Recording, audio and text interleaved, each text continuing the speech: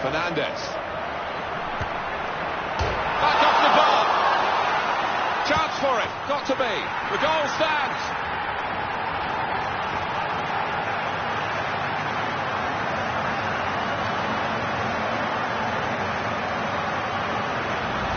He's doubled his money here with two great goals. It's a goal worth looking at again, isn't it?